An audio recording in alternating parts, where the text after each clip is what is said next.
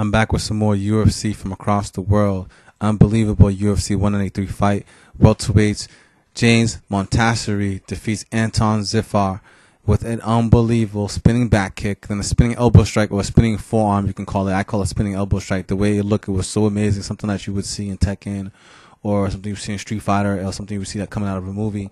It was, um, he showed for sure that um, he's coming, you know, very well with his taekwondo. He's doing very well, and he he did, it was a very good fight. Um, record is I think um, nine wins, three losses now and um, real good. He needed that win, and um, he needed that win. You know, spinning back kick, spinning back fist, and punches. You know, um, and um, real good move, real good technique. He loved. He felt his guy. He felt his guy out, and I think he could have broke that man's rib. I think I really believe that he might have broke Anton Zafir's rib.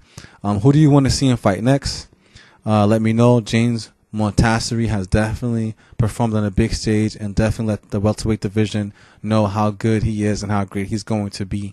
And he performed very well in Australia. So who do you want to see him fight next? Let me know in the comments below. Also, how what do you think about Anton Zafir's performance? Uh, until next time, it's Melevant with UFC from across the world. Like, comment, share, and subscribe. Shout out to James Moontasri for a first round victory. Great job. Great performance on a big night and a big stage.